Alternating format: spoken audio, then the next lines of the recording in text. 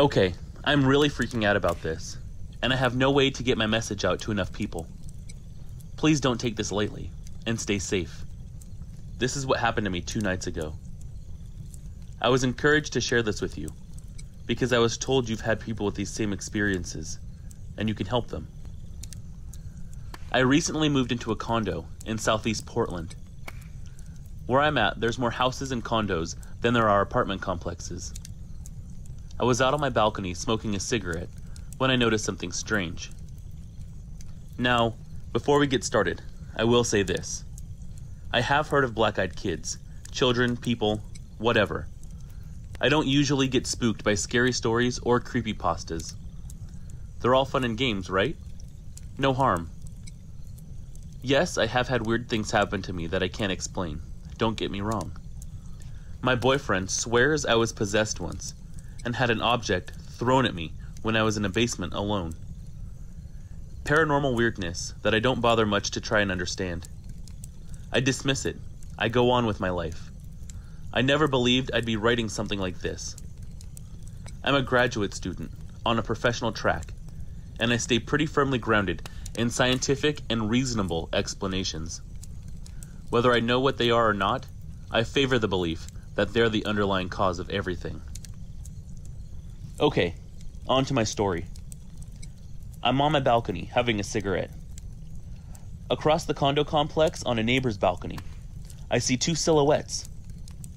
It's late, around 2 a.m., and it's a weeknight.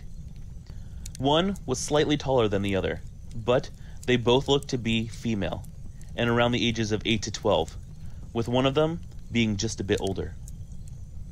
I saw movement, and the two stood close to one another. I could hear them knocking on the second story balcony door. My light was off, so, aside from my cigarette burning, I don't think anyone could see me well enough to know I was there. And once I saw them, I was frozen still. I don't know why, but as soon as I could make out their shapes, I felt an overwhelming sense of terror, like something imminent and dangerous was preying on me, and I couldn't move. After some time, maybe 10 minutes of paralyzing fear and listening to their knocks, the light in the condo came on, and someone opened their blinds. I was afraid for them. I wanted to yell to the neighbor to stop, but I was more afraid they'd see me, and I can't explain it, but I knew I didn't want them to know I was watching. The neighbor stepped back, I think, probably confused and apprehensive. I could understand why. I heard the voice of the taller one, and it's burned into my mind. It was completely accentless and seemed to be void of any life or cheer. Like a kid is usually happy. Even if they're not happy, they sound happy. But this was so weird. I knew it wasn't the voice of a child, or even a person. It wasn't human. Something in this voice was wrong. I couldn't hear exactly what she was saying, but at one point, the smaller one turned around and stared straight at me, like she knew I was there the whole time. I wanted to piss myself. Still paralyzed with fear, I couldn't move. I saw pale skin and huge, black eyes. It was dark. It was far. But I know what I saw. When she turned around, the light from the balcony lit up her face, and I could see well enough to know that her eyes were pitch black. And her clothes, they were weird too. Old. Outdated. And the little girl was expressionless. The neighbor had only opened the door an inch or two, and looked like she was ready to slam it shut. The taller of the two girls became angry, and she seemed as though she was going to make her way through the damn door. The neighbor slammed it shut and locked it hard. I could hear the fear of that woman with the intensity in which she locked the door. She stepped back from the door, leaving the blinds drawn, and I lost sight of her. They stood, and then the smaller one looked up at the taller one. They looked at each other. They said nothing. No communication. And in unison, they looked towards me. Finally, I broke free of my paralysis and bolted inside and locked the door, still holding my cigarette with its filter burning at this point. I kept the light off and kept my eyes on their shadowy silhouettes. This is where it gets crazy sounding, and I searched desperately for a way to say this that anyone that's reading can comprehend the sheer shock, terror, and seriousness at what I witnessed with my own two eyes. They dematerialized. No joke. I mean, they just turned into an almost swarm of what could have been insects and disappeared. Swear to God, on my life. I watched the spot where they'd been standing for what had to be the longest 60 seconds or so of my life. And I stepped back away from the window in fear of them popping up behind me or something. I was shaking violently, and my cat rubbed on my leg, meowing, in some kind of attempt to console me, because he sensed my fear. I noticed my cigarette filter still in my hands, and it was flattened from me pinching it so hard. I looked down at Milo, my cat, and back outside because I wanted to try to find them. I looked where they were on the porch to see if I'd gone insane temporarily and that they were just hiding there or something. But they were gone. My neighbor returned to where I could see her in the window. She was on the phone, probably to the police, and that's when I noticed them again. Directly above her, on the frigging roof. Just standing above her, holding hands, and they got down on their hands and knees. I was still completely gripped by fear and horrified by what I was seeing. Backtrack a little bit. Since we moved in, we've been hearing things on the roof at night, running back and forth, like footsteps, dropping something heavy, which is weird because we're on the second floor and it's the top floor. We've been arguing with the neighbors who said we're making too much noise during the quiet hours of 10:30 to 6 a.m., which we definitely don't. I'm always asleep due to medical school, and my boyfriend stays up late, but he's always by himself. We don't have a TV, so he just reads or goes on the internet. He doesn't stomp around or move furniture, so I always thought it was weird that it sounds like people are walking above us or running or whatever, but I just chalk it up to trees hitting the roof and whatnot. So anyway, these sons of bitches are on the roof somehow. Don't know how they could have even gotten up there. And they get on their hands and knees and are moving on top of this lady's roof. It looks like they may have been scratching at it or digging at it.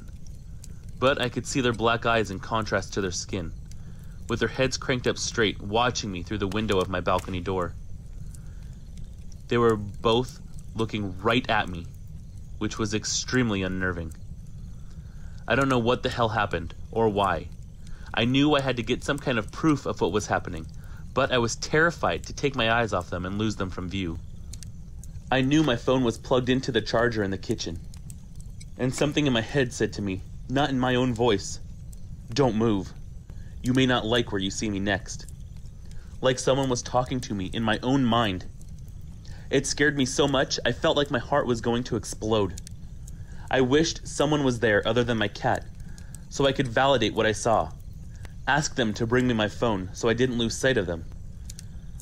But I had to take my eyes off them. I had to chance them vanishing. My phone's important. It would prove that I wasn't crazy. I broke our staring match and ran into the kitchen. Just breaking the gaze eased a bit of the terror, but I was still shaking. I grabbed my phone and I went back to the window. They stood up in unison. I pulled up my camera and snapped a picture. But the frigging flash reflected on the window, and it turned out to be a shitty, nothing picture. But even then, I think it upset them. I was trying to take a picture, and they didn't like that. And they started to disappear again. Like I said earlier, dematerializing or something. Because you could see, like, pieces of them all fading sporadically, lessening into them, not being there at all. What in the hell? I stayed looking at the roof, the balconies, even down below, and I couldn't see anything or anyone. My neighbor was still on the phone at the door. Her husband, or significant other, or some male roommate was there with her, and she was pointing up and talking to either him or whoever was on the other end of the phone. She pointed outside and stomped her foot. He was shaking his head in what seemed like disbelief, and she passed him the phone and left my line of sight into her condo. I wanted to go out on the balcony, but I was still so afraid. I felt wrong, sick to my stomach from the intensity of what I experienced. I told my boyfriend all about it when he came home, and he was very freaked out. He's never seen me get upset to literal tears about anything, and knows I'm a die-hard skeptic of aliens, ghosts, and anything paranormal. I dismiss every photo, every video. They're all hoaxes to me.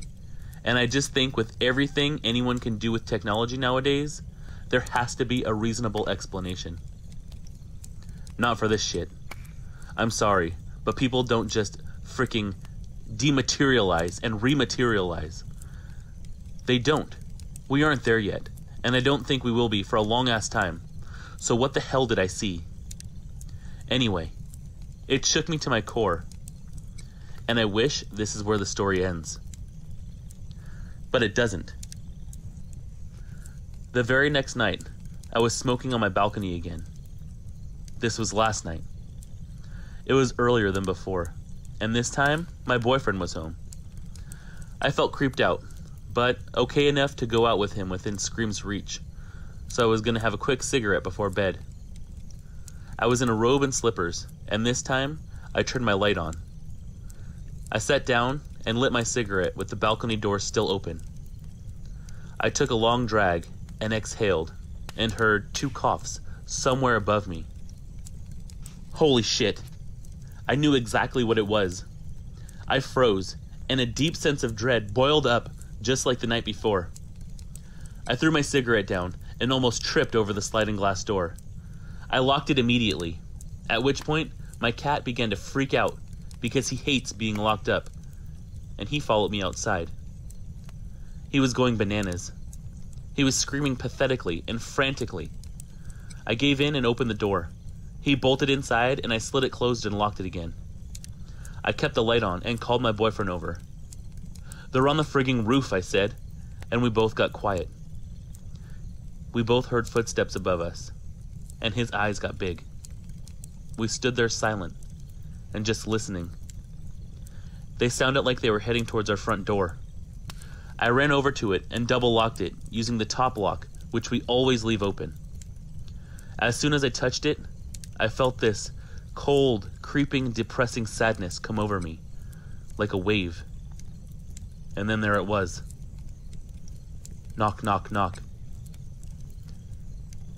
They're waiting for me to open the door. I tried to muster up the courage to yell who it is, and it came out more like, Who's there? Timid, and way less courageous sounding than I would have liked. That voice from the prior night, that dead, lifeless voice, was being directed at me. Ma'am, you have to let us in. Please help us. Hell no. I didn't say anything. I wish my door had a peephole, but it doesn't so I started backing away. Knock, knock, knock. My boyfriend came up behind me and gave me his phone. He said, We have to get a picture, or no one will believe this shit. It was no more than a whisper in my ear. I shook my head, knowing he was right, and started to approach the door again, hoping to sneak a photo through the high window to the right of the door. When I was just a few steps away, the taller one, lifted her face up to that damn window and shook her head in a disapproving no. The blinds were mostly down, but I could see her face almost entirely, with the exception of her lips and chin. Those big black eyes with absolutely no sclera anywhere. Holy shit, they were huge. Like, too big to be human eyes. And there was no way she could reach my window. She had to be floating there to look in which made me even more confused and even more terrified. I had my camera up and ready to snap the picture without flash. And then when I looked, she wasn't in it. I'm serious. She should have been. I snapped it while she was there. She was still there after I took the picture. But she wasn't in the goddamn picture. I looked back at her soulless, creepy ass face, and she somehow smiled without smiling. Like, haha, you can't prove this happened. I almost wanted to open the door and be like, what the hell are you? And that's when it happened again. And my boyfriend saw it too this time. She just slowly fell apart into nothingness and vanished. The heaviness I was feeling lifted, and my boyfriend and I were like, What in the hell is going on? He asked if we should open the door and look, and I was like, Just hold on a fucking second. He asked if I got the picture. I gave him the phone to see for himself. He was like, No way. What the hell? Why is she not in the picture? I don't know what they are, but there's a reason no pictures of them exist. They're real, but they can't be photographed. Does that mean they exist in another dimension? Or are they dead? Or vampires? I don't know. I would never believe anyone if I heard my story from anyone else. If it didn't happen directly to me, there'd be no way I'd give it the time of day. But it did happen to me, and I'm really scared. I'm scared it's going to keep happening. Or worse. What do I do? I'm just so grateful to be alive, but the terror I've felt around these girls really has me on edge. I'm so scared of going out to my balcony, or even leaving my house at night, or going to my house at night. It doesn't feel safe anymore, and I have no way to legitimize what happened, or do anything about it. I want answers. I want to know what they are. I want to ask them if I see them again. But it's like I can't even speak around them. I'm just almost completely immobilized. How does someone combat something like this? It's like something from a Stephen King novel, but it's actually freaking happening. I feel like they're really pissed off. Especially since I tried to take pictures of them. I don't know what's going to happen next, if anything. But I had to get it out somehow, because it's real. It does exist and it's changed everything I ever thought about the paranormal. It's so scary. I hope they don't ever come back. But I know from hearing these things at night, they may be here more often than I'd like to believe. And whether I see them or not, they're there. And I have no way to prove it. It's just so frustrating and soul shaking. Anyone that can help, I would appreciate it. Does anyone have answers or advice?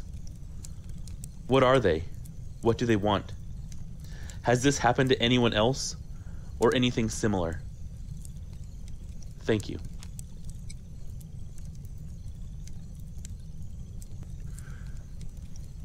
This is not my story to tell. It's my brother's, but he's no longer with us, so he's unable to tell it for himself. At the time of his encounter, he was 45 years old, and it took place in Santa Fe. I didn't hear about this story until a few months after it happened, but the way my brother told me, I know he wasn't making it up, and it's something I'll never forget. He maintained that what he witnessed was true up until the last time we got to speak. His first encounter happened at his home at about 7 p.m. He was a lifelong bachelor, but successful in his own right. One night, he was just watching TV, and he heard a knock at the door.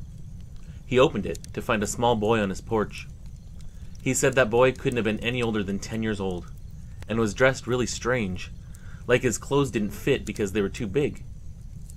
And they were old and plain looking.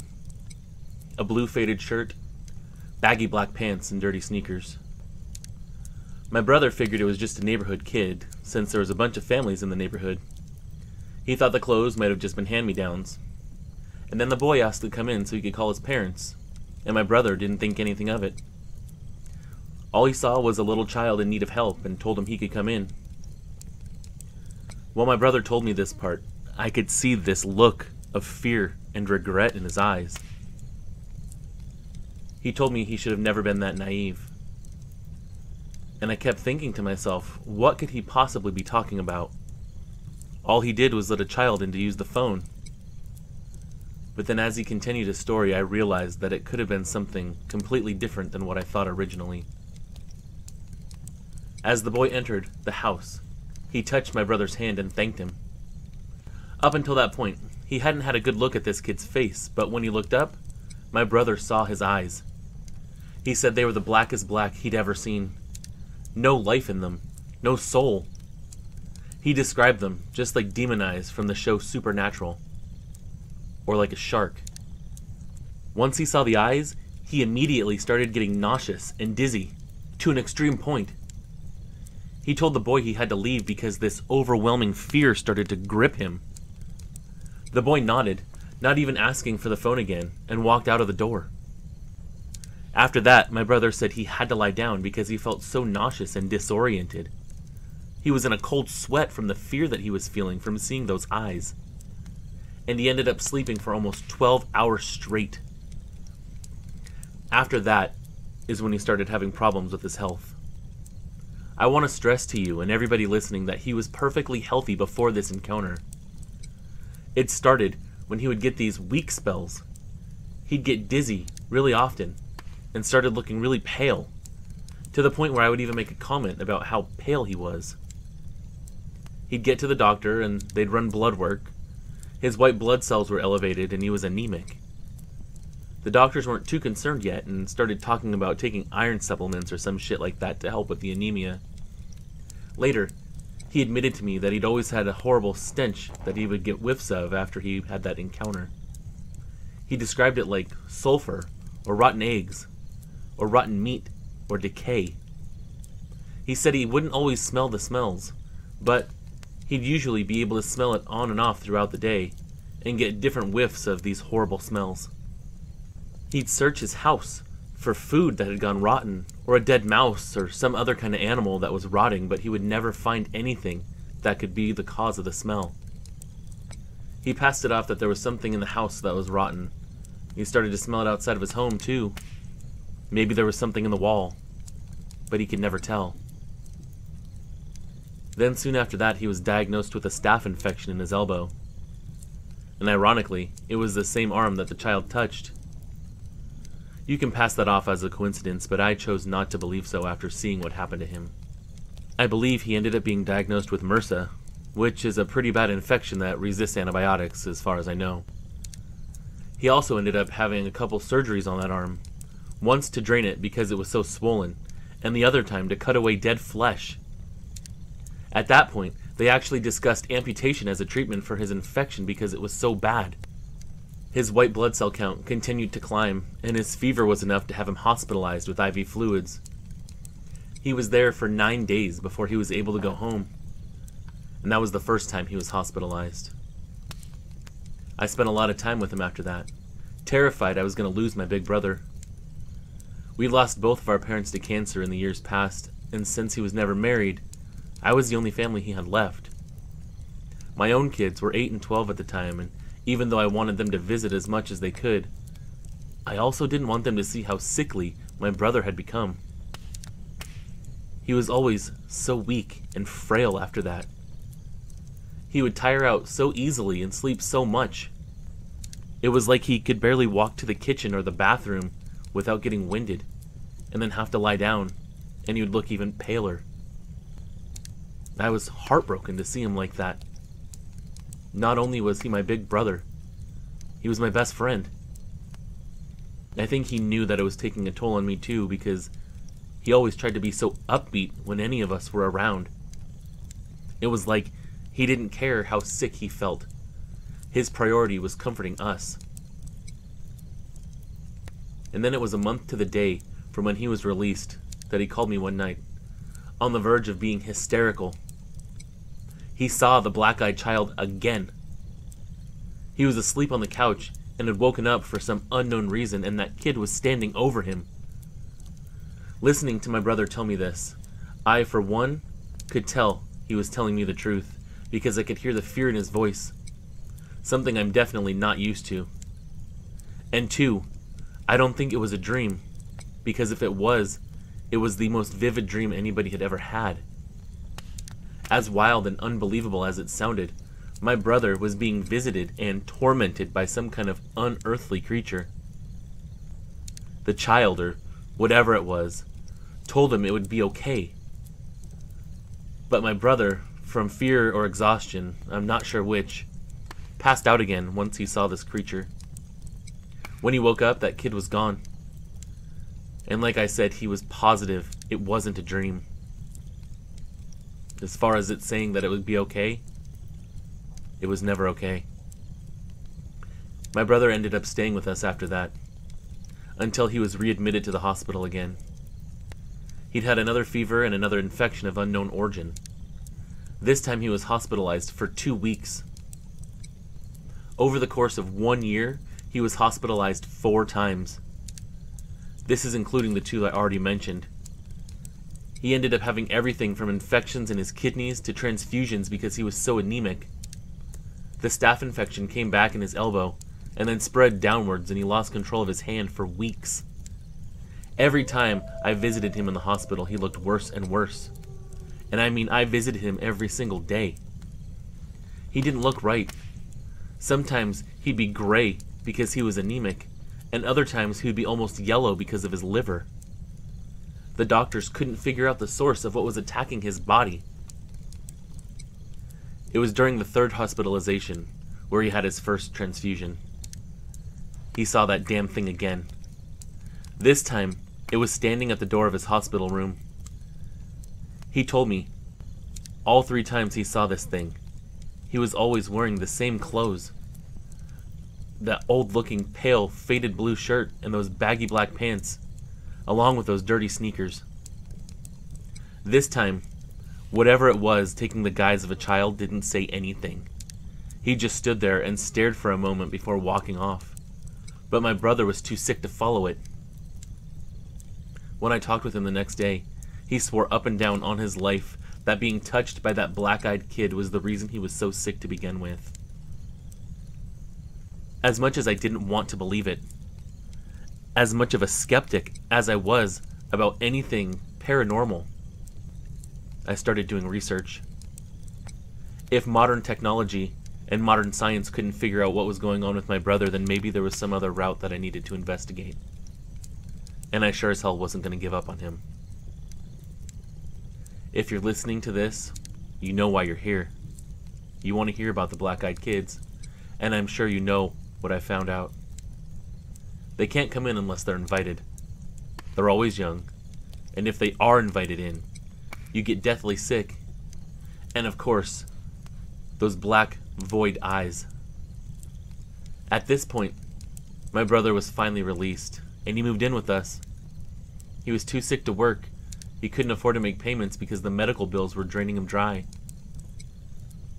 I told him I believed him. I showed him what I found.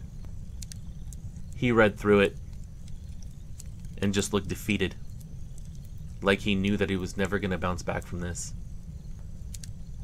And he never really recovered this time. He only got weaker and weaker. And I swear, he started smelling like sulfur and decay. And then the fourth time he went into the hospital, he didn't come back. At this point, his organs were shutting down. His fever wouldn't break, his white blood cell count just kept rising. He slipped into a coma, and a few days later, he was gone. My heart was broken. I was devastated, to say the least. I told my wife everything that he had told me about his encounters. She knew as well as I did that my brother was not one to make things up. She wasn't sure what to think or believe and I'm still not sure she does, actually. But she knows he wasn't lying. She just doesn't know what to make of it. I found a letter that he had written me after he was released the third time. And I really considered adding it to this email so it could be shared, but I chose not to. Part of it said he wanted me to explain everything that he had witnessed to our friends and family. We had some cousins out in California that we tried to keep in touch with, and I did my best to explain it to them, but I really think they think I'm nuts. Michael and Anthony Doherty, if you're listening to this, Brian was not nuts or hallucinating. I really believe this happened. At first, the black eyed kid phenomenon was something that sounded completely made up. But trust me, having seen what they can do and what they're capable of firsthand, I don't think it's a myth anymore. I've tried to listen to everything on them that I can, and the more I hear about them, the less made up it sounds. I truly, truly believe that you're safe from them if you decline their request to come in. My only wish is that my big brother, my best friend, would have known before he invited that little boy in what was going to happen. Thank you so much for getting Brian's story heard. Sincerely, Kevin Matthews.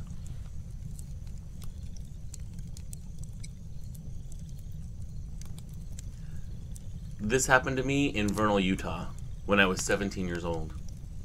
My name is Ethan, and I had an encounter with something I can't explain. I was pulling into my driveway after work, minding my own business, when these two young kids came up to me. They looked like they were about 12 and 10.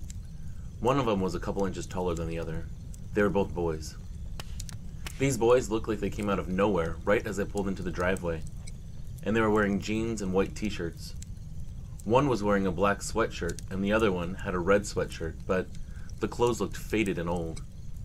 They started asking me if they could have a ride, but from the very beginning of seeing them, I felt nervous and scared of them, like my body was telling me to get away and not to trust them. They just made me feel like something was wrong with them. So I lied. I told them my car was having problems and I needed my dad to look at it before I could drive it again. The shorter one did most of the talking, and said where they were going wasn't too far and the car would be fine. The other kid nodded to agree with him, but it was this weird, slow nod, and honestly, it creeped me out even more. I declined again. I told them it still needed to be looked at before I could drive it again.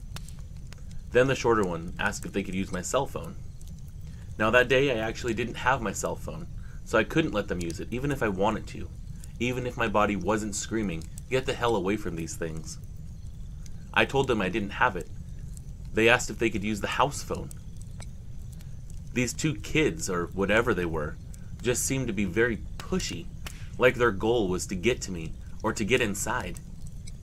And they weren't very polite either, just short and blunt, like they were trying to convince me to let them in. One of them looked up at that point, and I saw his eyes. We're talking pure black, just the same way everybody else describes them, like a shark or an alien. I jumped back in my seat and just stared at them. Then the other one looked up too, and his eyes were the same exact way the other ones were. There wasn't anything in their eyes. No soul, no humanity, nothing at all. And I think they knew how terrified I was. And I think they liked it because they started to grin the shorter one asked if they could use the house phone again. If they could go inside. Or if I could go inside and get it. I told them I could get it, but they couldn't come in. Well, I have to use the bathroom. Let us in. It was still the shorter one. Why he did most of the talking, I don't know. At this point, they started to seem like they were getting angry, and they were very demanding. They were basically telling me I needed to let them in. And every time I told them no, they got more and more aggressive. I told them they had to leave, that they weren't welcome here. But they went back to asking to use the phone. Come on, let us in, we need to use the phone. And then the other one started talking too. Yeah, let us in to use the phone. We need to use the bathroom too. They just kept arguing. Just the same excuses over and over and over, like that's the only thing they knew the only reasons that they would think that they could get into the house. And then, I had the idea of honking into my horn to get my dad's attention. I wanted to let him know that I needed help. I laid on the horn. I kept pressing it over and over and over, letting it blast long and loud, and telling these evil kids to go away, that they weren't welcome here. I was so scared I was sweating and my heart was racing. I've never been that scared in my entire life. They said they really needed to use the phone, but I yelled at them to get away from me and that my dad was coming out with his gun. They turned and casually walked off after thanking me anyways, and then they walked down the street. I started honking more and more.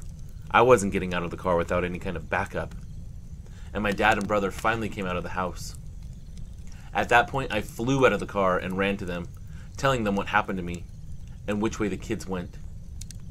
I told them everything I saw, even the eyes, and my dad ran back into the house to actually grab his gun. When he came back outside, he jumped in my car with my brother and they took off down the street to find these kids. Needless to say, they didn't find anything, or even any sign of those kids. It was like they just disappeared, which maybe they do have the power to do. For weeks after that, I had nightmares. Nightmares about them trying to get into the house, trying to get to me or my family. I refused to be alone outside. My friend that I told my encounter to said he thinks they need an invitation based off what I told him. I agree. I think he's right. Reading and listening to every other encounter that I could find, it all seems to be the same. They can't come in unless they're invited. I'm not sure what these black eyed kids are or what they want, but I do know there's something evil about them, and I don't ever want to run into them again.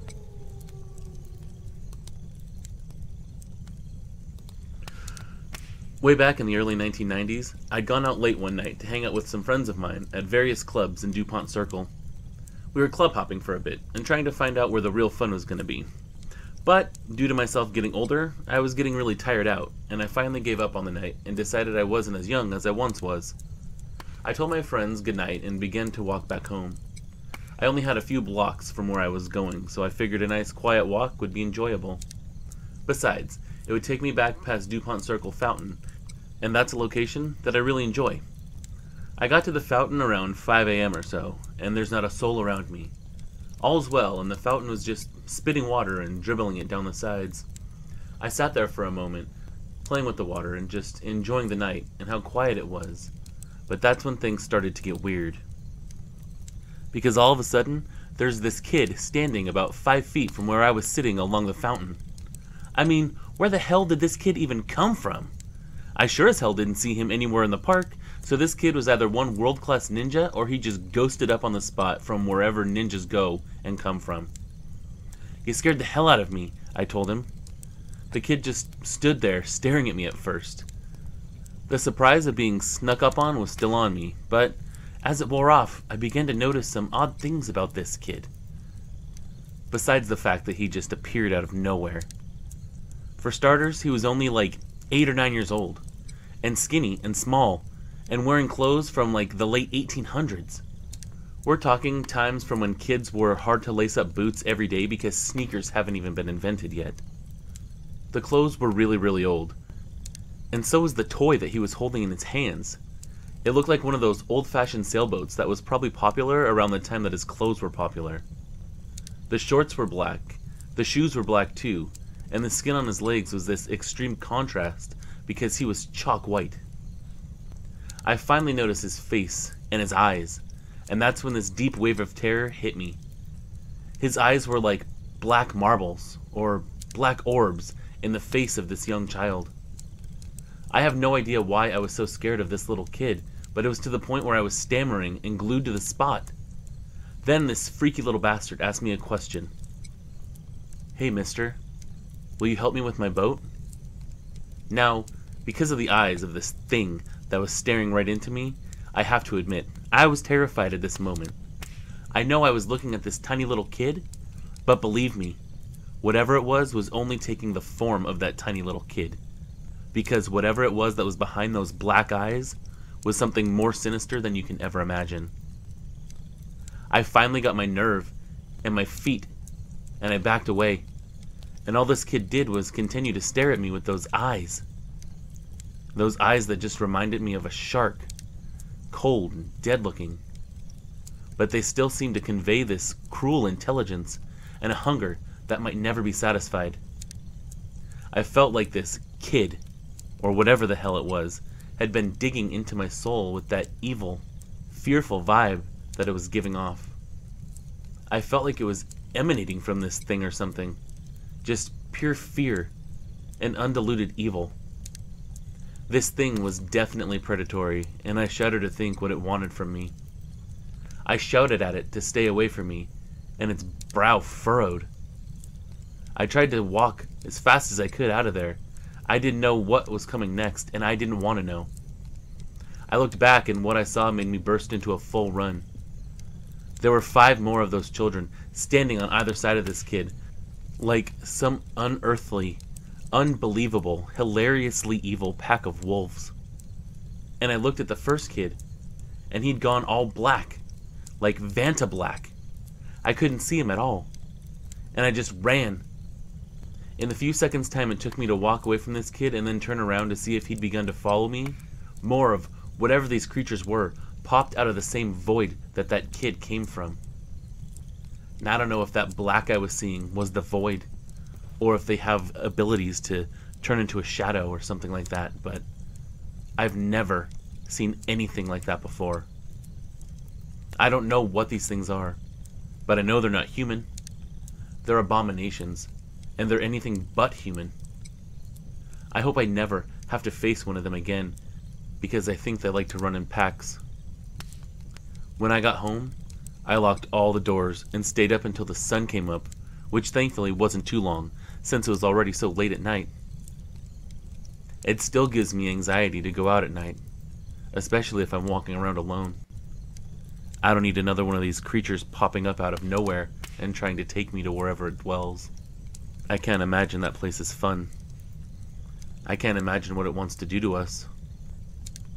I got the distinct impression that if I had succumbed to its request to help him with the boat, I wouldn't be here telling you that story. I fully believe there's some kind of supernatural predatory species that likes to harvest us for what? I don't know. Maybe it's to eat. Maybe it's to replicate. I don't know. I'm glad I never found out either. And I pray that nobody else does. Thank you for listening and sharing this story.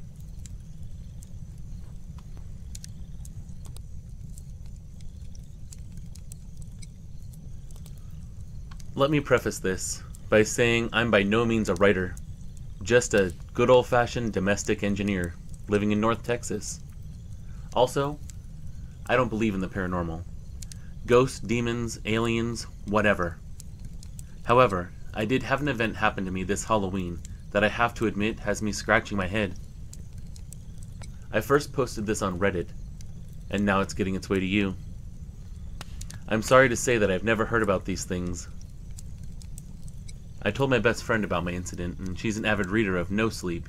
She told me if I didn't post it, she would. So here I am. Anyway, I hope everybody would like this story, and I'm curious to hear what you have to say about it. So it'd been a slow trick-or-treat night in our neighborhood that evening, which is pretty odd in itself. We usually have kids from different areas dropped off in ours and have a constant parade at our door. That night, I'd say we had no more than 8 or 10 groups of kids come by the entire night. It was about 9:30 p.m. and my husband and I were sitting in our family room watching some of those ghost shows based on supposedly actual events. Like I said, I don't believe in that stuff, but I do like a good ghost story now and then, and it was Halloween after all. I hadn't had any activity at the door in over half an hour, and it was getting late, so we decided to let the porch light turn off and let our dog Chloe out of her crate. She's an American Bulldog, and very docile. We only put her in a crate because we were afraid she'd try and get out to play with all the kids, and I didn't want to have to chase her down the street. Also, I didn't want her freaking out any of the younger kids that might be afraid of dogs. So I turned out the outside light and let Chloe out, and she followed me back to the couch and laid down at my feet. Now it was getting close to 10 o'clock when my husband decided he'd had enough fun for the night and was going to go upstairs, take a shower, and get ready for bed. After all, this year it was a Thursday, and he still had to get up early the next day. My teenage son was out with his friends at a local haunted house and wasn't expected back for another hour or so, so that left me alone on the couch with Chloe. Now, just because I don't believe in any of those shows, doesn't mean it didn't freak me out a bit. And being alone now, watching them, I'd have to say I was kind of on edge, as it were. And it wasn't long after that I heard the upstairs water for the shower turn on, when there became a light knock, knock, knock at the front door. My initial reaction was, What the hell? Really? It's almost 10 o'clock. Go home. My light's not even on. But soon this uneasy feeling came over me. Why the knock?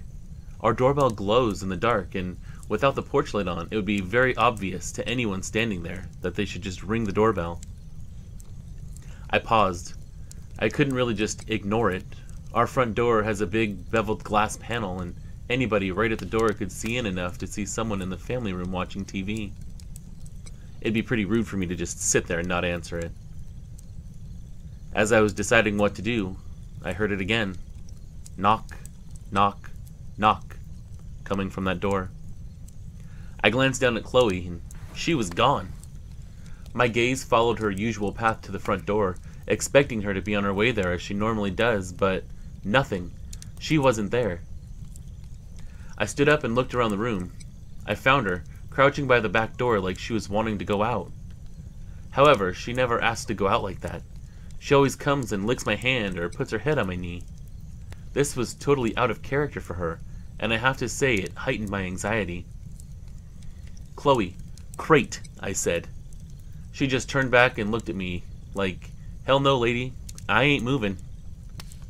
I yelled up to my husband, but he was already in the shower, and I knew there was no chance of him hearing me. Knock, knock, knock. About that time, a car drove down our street and cast just enough light on the door where I could see the silhouettes of two small children through the glass. Instantly, this gave me a great deal of relief. It was just some kids, probably a couple of my neighbors on their way back home that wanted to stop by and show me their costume or something. So I headed to the door. I looked back to make sure Chloe wasn't following me. What a great watchdog, I thought to myself as she just sat there. I turned on the porch light when I got to the door, and sure enough, I could see through the glass that it was a couple of pretty small kids. A little late for such young ones, I thought, and began to wonder about what kind of parents would let their kids run the streets that late at night. I only opened the door enough to where I could block Chloe's escape if she decided to grow some balls, which was only about two feet. What struck me immediately was how odd these kids were. They weren't wearing any costumes. They were in normal street clothes. Also, no customary trick or treat either. And I began to feel very uneasy again. It was a girl and a boy. The girl, to my left, was older. I'd say about 11 or 12. I could tell she was blonde, but I couldn't make out any distinct features, as our lights are from high above, and on columns at the front of the porch, so most of the light was coming from behind them. I hadn't opened the door wide enough for any light from inside to hit them directly. I could tell the boy was younger, and about a foot shorter. I'd say eight or nine, and looked to have had light brown hair. The girl was very polite when she spoke. Ma'am, can we please come inside and use your phone to call our mom? As she spoke, something in the pit of my stomach was telling me that something was very wrong. What kid, even at that age, doesn't have a cell phone of their own these days? I couldn't even remember the last time anybody asked to use my home phone. Uh, hun, don't you have a phone of your own you can call your mom on? This was when things really got weird. Both kids turned to look at one another like they were going to say something, but neither ever spoke. They just stared at each other. Then they both turned back to me, and the girl said, Ma'am, my cell phone battery doesn't have any charge left in it. Can we please come inside and call our mother? We're alone out here, and my brother's scared.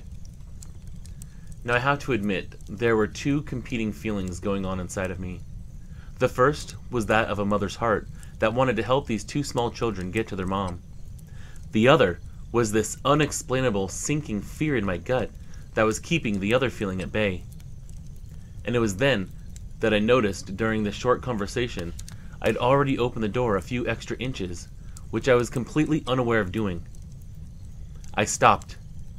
Honey, why don't you give me your mother's number and I can call her myself? There was another pause, and then again they looked at each other in this weird manner. And after a short moment, they turned back to me and the girl said, Ma'am, my little brother has to use your bathroom. Can we please come inside while you call our mom? And with that last statement, the little girl moved closer toward the door, like she was just gonna walk on in. As she did, she stepped into the light coming from inside the house, and I got my first real good look at her. Solid, jet black eyes. That's all I could see. That motherly instinct was gone and replaced by terror that I don't think I've ever felt in my entire life. I could feel every hair on my arms and back of my neck standing in attention all at once. I closed the door to where my face was just able to stick out. The girl stopped and again pleaded, Please, ma'am, we're really scared and alone out here. We have to come inside. Please help us. Then, like on cue, both kids began to whimper and cry. That's when fear took over, and I shut the door and locked it. I'll call your mom if you give me the number, I shouted through the door. But I'm not letting you in my house. I could still see them, stand there on the porch, just staring at me through the beveled glass pane. Part of me wanted to run upstairs to my husband, but the bigger part didn't want to lose track of where they were. That would have freaked me out even more to not know where they were at. After what seemed like forever, but probably only a few seconds, I decided I'd call my neighbor that lives across the street. As I made my way to the side table by our couch to my phone, I glanced at the back door. Chloe was nowhere to be found. We later found her in the guest room under the bed, hiding, like she was just as scared as I was. When I got to my phone, I started to look for his contact info. It was only then that the kids stepped away from the door and began to walk down the street. As they did, I walked to the door to get a better look to see where they went, still not calling my neighbor. If you get close enough to the glass, you can see out enough to make the people's shapes out, but you can't see much detail. Of course, standing that close to the door would make you pretty obvious to anyone outside looking in.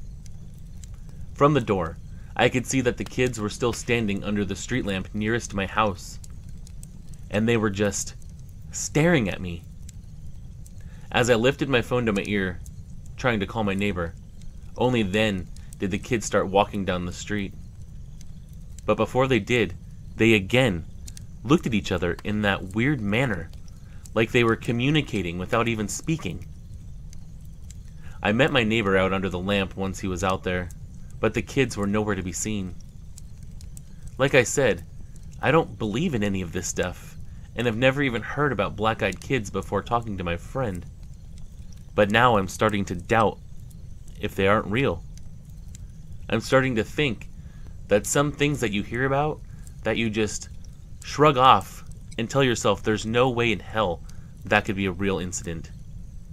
Maybe they are real. Maybe these things can communicate telepathically. Like those little bastards in Village of the Damned. I don't know what they are. I want to believe that it was just my imagination. But the more I think about it, the more I think that there might be something else out there that I can't explain. It's scary. I have no way of knowing if this was a prank by some punk with colored contacts, or if I truly encountered a black eyed child. But this truly happened to me. The town I went to high school in, Temecula, California, is a large suburban area located only a few hours down the freeway from the large California cities like San Diego and Los Angeles. Not a small town, but also not a metropolitan city just a lot of neighborhoods and shopping centers. I'd been driving for a year or two. I may have even been a senior at the time. On the way home one day, I stopped at CVS. It was just after school, so it was still sunny. In fact, it was so sunny out that I raised my hand to shield my eyes as I walked to the car. There were spaces directly in front of the store, and I took one of the first ones. Now remember, I'm a small female and I grew up being wary of being kidnapped. So when I was approached in the parking lot by a young man on a skateboard, I was suspicious. I was a nerdy punk and didn't know anyone who skateboarded, and I didn't know this guy from school or anything. So I thought it was weird that he would even be talking to me at all, especially in a CVS parking lot. So, I come out, and this skateboard kid is just standing by the hood of my car. I drove a beat up Honda Accord with my first car driving dents and all. So it was super weird when this kid complimented my car. I'll never forget it. He just said, Nice car. Like he meant it. So, a little flattered, I looked up and into his face to thank him. I'll never know if it was just a sunny shadow or if he was a demon. But his eyes, his sockets, the whites of his eyes, everything, were all indescribably black. They were shadowed, but also just black. Black pupils, blacker whites, black sockets. It freaked me out. Looking into his eyes, I couldn't look away. I could see all of him, but all I could look at were his black eyes. I managed a thank you and became flustered as I went to open my car. But he stayed at the hood and offered to wash it for me. He literally said, I could wash it for you. Like, what? Why? No, I don't think so. I got in the car anyway and rejected his offers to wash my car. He was starting to creep me out, and he stayed near the hood of the car until I backed out of the space and left the lot. His creepy eyes, his creepy offer, I will just never forget it. I maybe hope that he had dressed his eyes in eyeliner and black contacts, but I'll never know. I only know what I saw, and I saw a kid with black eyes. I've been through a lot of different experiences with the paranormal my whole life, as well as having a shady childhood. My family has always been more religious, mostly Pentecostal. I guess I could say my experiences started when I was about 10 or 11. They started off small. Things moved randomly. A Bible was thrown in the trash, and it was perfectly placed on my dresser. What was weird is that it landed completely face up in the trash, almost like something wanted me to see it.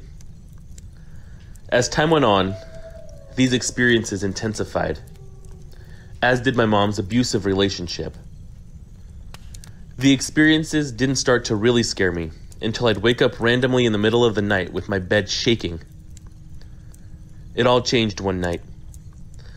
I used to sleep with a nightlight on. I was 11 years old. But I also had a TV parallel to my bed. It was a very late night when I saw what would ultimately leave its place in my mind. Through the reflection of the TV, two apparitions were standing at the foot of my bed holding hands a man and a woman. I was stunned. I stared at them through the reflection of my TV for a good 30 seconds, cowering under my blanket. I unfortunately remember every glaring detail of their figures, but mostly their eyes. Black, lifeless, deep darkness, true evil.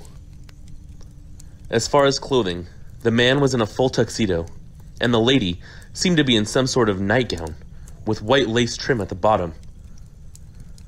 I never told anybody about this until later. Shortly afterwards, my mom's relationship split up due to violence. After that, the man she was with started emailing us scriptures about whores and what happens to sinners. It was weird. As time went on, my experiences with the paranormal only got worse, until eventually ceasing altogether. The reason I'm writing this post is because last night I saw a similar figure in my dream. It was a female, black eyes, no soul, pale skin. She saw me and started crying hysterically, saying things like, I found you. I miss you. Follow me. She was trying to convince me into killing myself in my dream. Then she proceeded to jump off a cliff, then immediately showed up behind me, hugging me, saying, I can't die. We can finally be together. It was so strange. In this dream, it's like I felt that I knew her. I was crying with her. Now I'll say this. I'm currently engaged and happy and have two dogs. I spoke to her and said, I have a family now. I can't. Like I had some kind of memory of her, I guess. Finally, I proceeded to lay my hands on her pale face. I stated, In the name of Jesus, I rebuke you. And her face her face just melted into black sludge. Then I woke up. This is the second occurrence of these things that I've experienced.